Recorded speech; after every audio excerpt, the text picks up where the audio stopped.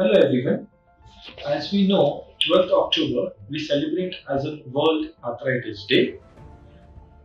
The reason why we celebrate this day is to create awareness of the various kind of joint diseases, musculoskeletal problems and arthritis.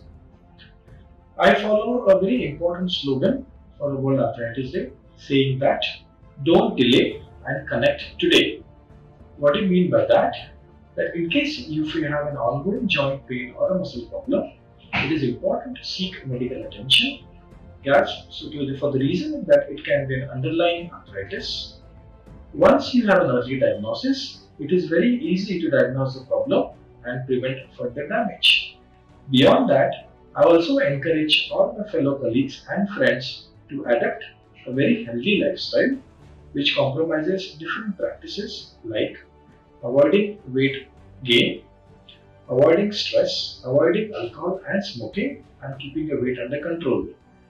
I wish that everyone keep on doing their movement on and have a good life. Thank you very much.